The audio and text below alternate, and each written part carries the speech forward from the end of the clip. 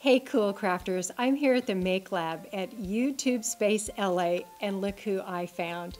It's Crafty Chica. Hi, hi Tiffany. This is so great for us to be able to get together here. I know, it's been so fun. I don't want to leave. It's such a treat.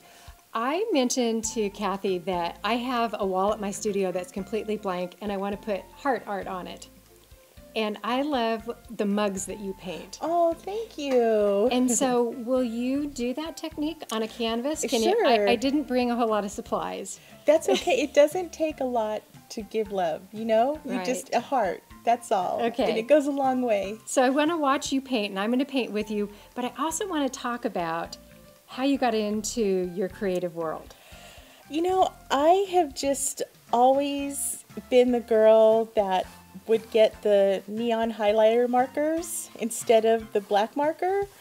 And that's just kind of been the story of my life from there. And anytime I can find a way to do something colorful, I go for it. But what happened was I found out um, early on that you can actually make a living by having a creative career.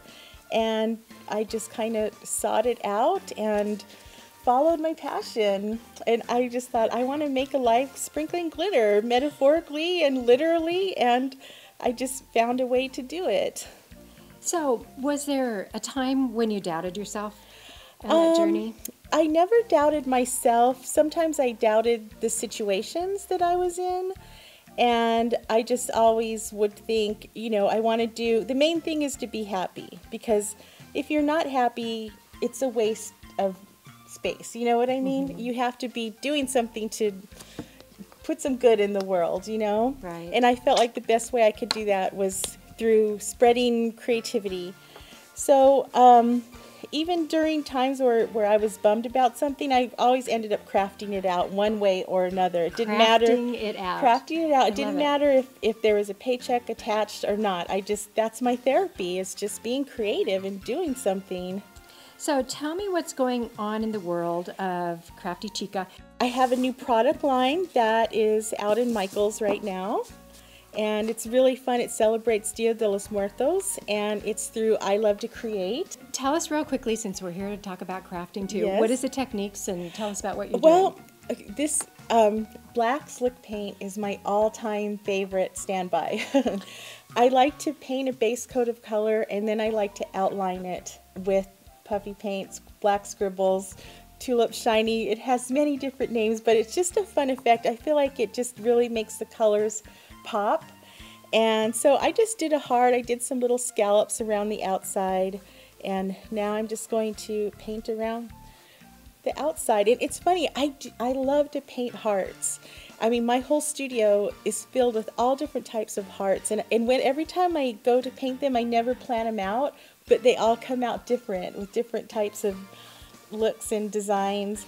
And I think it's a fun thing to be addicted to painting, you know, because you can hang them up, you can surround yourself with love or give them away to people, whatever you want. You know, it's so great to see is how quickly we can do heart art. Yeah. And you don't have to be perfect. That's what I love right. about this. Yeah. You know, the strokes don't have to be perfect. And what are you saying, Tiffany? No, I'm saying that I love your style.